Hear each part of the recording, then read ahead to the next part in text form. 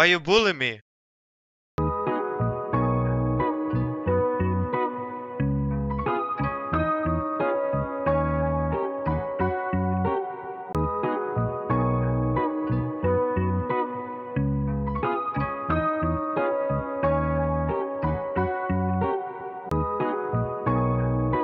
One pair of pants later.